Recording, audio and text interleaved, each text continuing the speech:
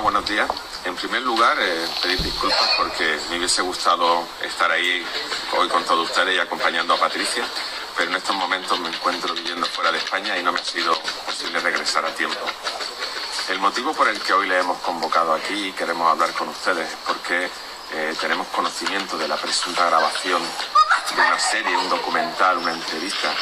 en la que sobre Gabriel, en la que se, se va a entrevistar a, a Ana Julia. Y por supuesto a nosotros esto no nos parece bien y no estamos de acuerdo con ello. Nosotros no vamos a formar parte de esto. Queremos eh, hacerle saber a los medios, aunque creemos que, no es necesario, pero lo recordamos, que el, volver a emitir esta- estas imágenes, el volver a recordar aquellos días, el permitirle a la asesina de nuestro hijo volver a hablar sobre él y sobre Patricia y sobre mí, va a ser eh, muy, muy doloroso para nosotros y es volver a hacernos muchísimo daño. Durante 11 días, la asesina de nuestro hijo nos infringió el máximo dolor posible y el máximo sufrimiento, haciéndonos pensar que le volveríamos a ver, e incluso poniendo pruebas falsas como una camiseta seca después de, que estuviese varios días lloviendo, para hacernos pensar que, que Gabriel estaba bien.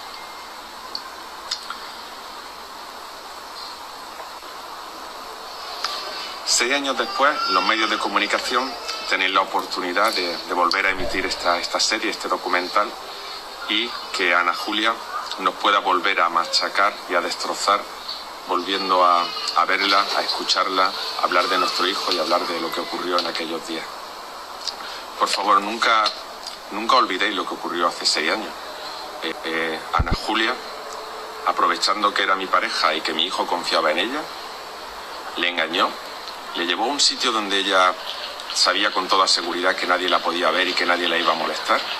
y allí le asesinó. Por todo esto, exigimos respeto para la memoria de Gabriel. Es decir, no, no podemos vivir en una sociedad tan vacía en la que por un puñado de euros podamos permitir que, que una asesina vuelva a hablar y vuelva a mentir sobre lo que ocurrió aquel día con un niño pequeño de 8 años que no tenía culpa de nada y que hoy en día, por desgracia, ya no le tenemos con nosotros. Para finalizar, solamente quería ya agradecerle a todos que hayan estado hoy aquí acompañándonos